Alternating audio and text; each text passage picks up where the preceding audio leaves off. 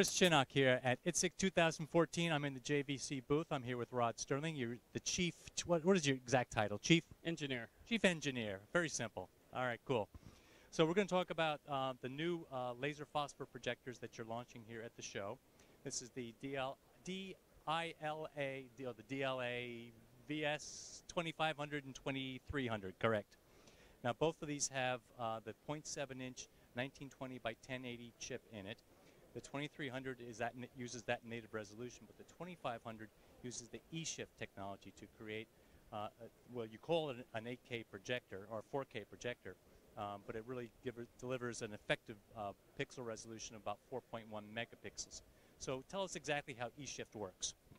Well, the E-Shift is uh, basically a device that video multiplexes the image. So we uh, put up a 2K image, then we uh, turn that off, move the E-shift element, and then put up another 2K image.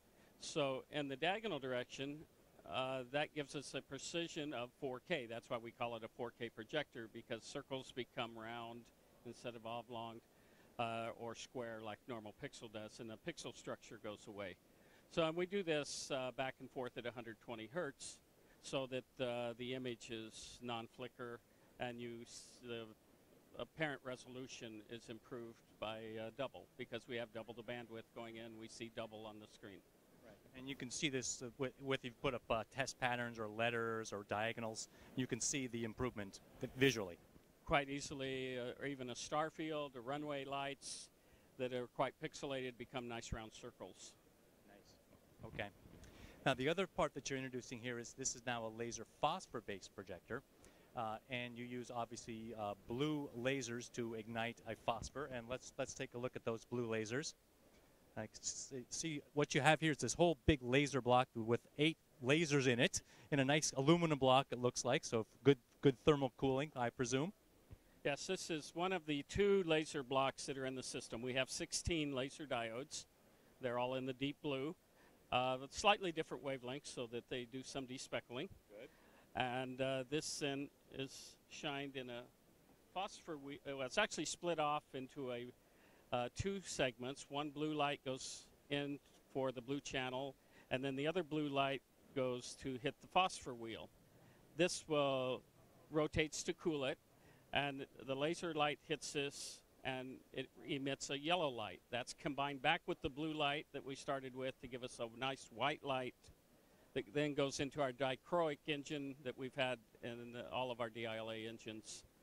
Uh, and then we're able to modulate that just like we have all of our other projectors. So we have the same high contrast, high dynamic range, and increased brightness because of the étendue of the laser system. Right.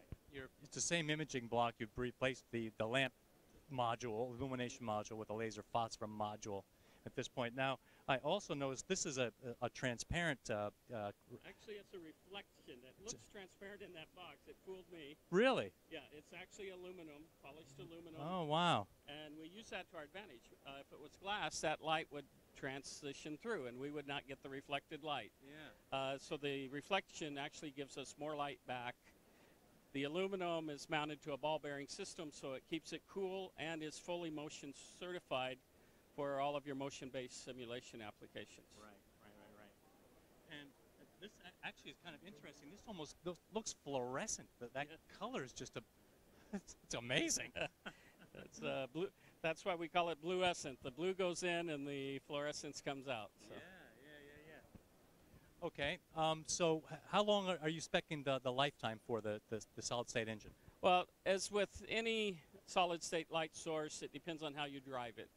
If you drive it 100% drive, it'll last you about 20,000 hours. If you, because the brightness is where it is, for most applications you can start out about half brightness, uh, maybe a little more than half. And that will last you upwards uh, 40,000 or more hours uh, without having to do anything to the uh, illumination or adjustment to the color system. Uh, you have a, a, color management or a, a, light management system as well, so you can kind of keep the light level constant over the life period.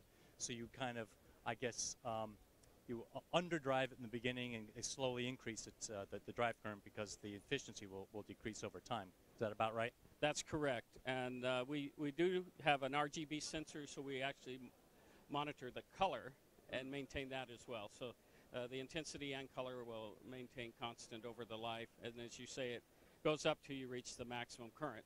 Of course, it doesn't turn off then. It just, you can no longer maintain the set brightness, but it will continue. Uh, one other advantage we have here is we have 16 diodes in here. Okay, if one diode happens to fail, uh, we still have 15 working. So you do not lose your image or training session. You you lose a little bit, and the current should regulate itself right back up, so you probably wouldn't even notice it in the training session. That's that's very smart, very smart indeed. Now, so and and the dynamic uh, contrast on this, I think you don't use an iris, so this is full on on off contrast, and you spec it, I think, at about 20,000 minimum to one. Yes, we guarantee 20,000 to 1. Uh, our typical numbers we see average around 30,000, but uh, we guarantee minimum of 20. Okay. And this can be vis- uh, driven with an NVG channel as well, because you have an IR uh, sensor, uh, emitter in here as, as well. Uh, no, the phosphor actually emits the infrared as well.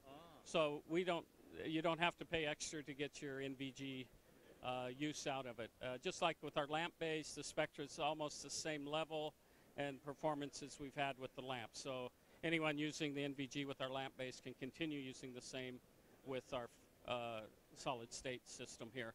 Uh, we did not need to add the extra LED illuminator or that or uh, infrared illuminator to uh, get that That's very clever. And you you can also rotate this, as you can see. You've you've got it mounted here, and that image can now go around in almost any orientation or angle, which is a big advantage because lamp-based projectors have that problem.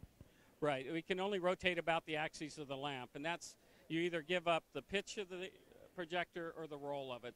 Uh, with the solid state here, we've designed the cooling such that we can do pitch, yaw, roll at any angle uh, without any uh, problem with lifetime. Excellent. Available when? We go into production this month, and you can have them available next month. So place your order now. All right, cool. Thank you very much, Rod. Uh, Chris Chinnock, for Display Central.